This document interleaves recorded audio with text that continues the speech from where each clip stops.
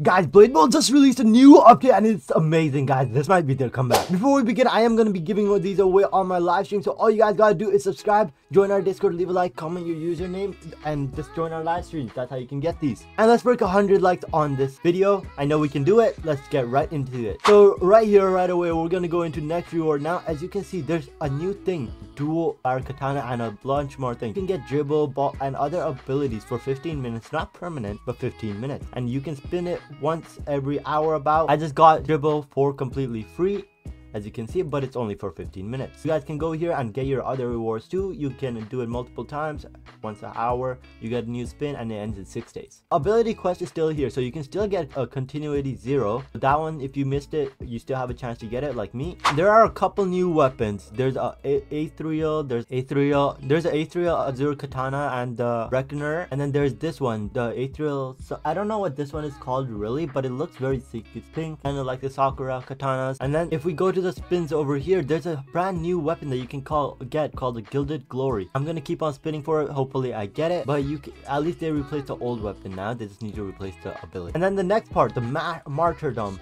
You guys can buy for 2k and explode into a burst of energy on death and force the ball to target and debuff your killer. So basically what this ability does is when you die, it will hover the ball around your body and it will aim towards the person that killed you and just go for them. They can still block it, but ho hopefully it gets them, right? And here's the best part of the update. One player minimum, just new boss event. I'm going to be streaming this event. So if you guys see me streaming, just come on, join up, and we're going to be playing this event together. That is all for the update, guys. Remember to subscribe, hit that notification bell, and leave a like on this video if you enjoyed. You guys in the next one. Bye-bye now.